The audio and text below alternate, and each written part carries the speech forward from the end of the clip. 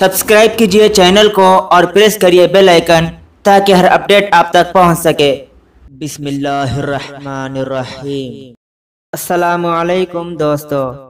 میں آپ کو چوتھے خلیفہ امیر المومنین حضرت علی بن ابی طالب رضی اللہ عنہ کی شہادت کا واقعہ سناتا ہوں۔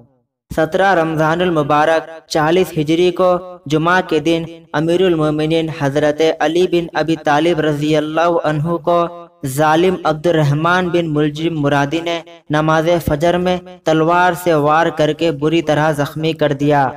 قاتل اسی وقت پکڑا گیا۔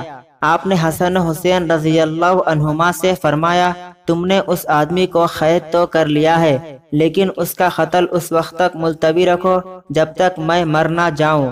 اگر میں مر جاؤں تو اس کو قتل کیا جائے، اور اگر میں زندہ رہوں تو صرف زخم کا بدلہ لیا جائے گا۔ جان کا بدلہ جان ہے۔ اگر میں مر گیا تو اس کو مار ڈالنا۔ اگر میں زندہ رہا تو اس کی نسبت میں خود فیصلہ کروں گا۔ اے بنی عبد المطلب میں مسلمانوں کا خون نہیں کرانا چاہتا۔ خبردار بجیس میرے خاتل کے کسی اور کو نہ مارنا۔ اے حسن، آگاہ رہو کہ میرے خاتل کو ٹکڑے تکڑے نہ کرنا۔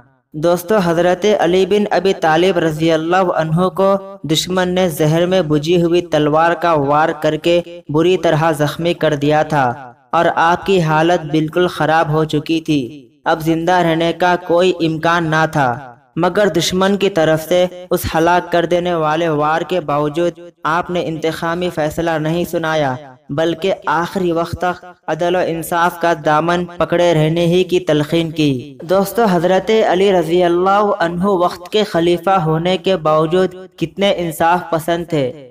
آج ہم کو ان جلیل الخدر صحابہ سے نصیحت حاصل کرنی چاہیے۔ دوستو، اسی طرح کے علمی اور معلوماتی پیغامات حاصل کرنے کے لیے ہمارے چینل کو سبسکرائب کرے اور بیل ایکن ضرور پریس کرے۔ تو ملتے ہیں نیکسٹ ویڈیو میں۔ انشاءاللہ، السلام علیکم۔